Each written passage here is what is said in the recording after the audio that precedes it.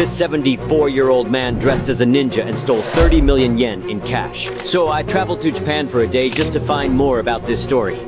For eight years, the Japanese man terrorized the city of Osaka. At night, he would wear all black and do incredible acrobatics to gain access into buildings. He was so good that security cameras saw him effortlessly running on walls, squeezing through tight spaces, and climbing smooth walls. The police tried to catch him for years, but couldn't. In 2017, during a robbery, his face mask slipped, and a camera revealed his face. A 74-year-old man named Mitsuaki Tanigawa. The police followed Tanigawa, and during the day, he seemed like a regular old man. But one night, the police followed him to an abandoned building, where he entered as an old man and came out as a ninja. The police caught him, and he was arrested. When asked why he did it, Tanigawa admitted he didn't like working, and thought stealing was faster. He also mentioned that if he were younger, he might have avoided getting caught. But at 74 years old, he decided to quit.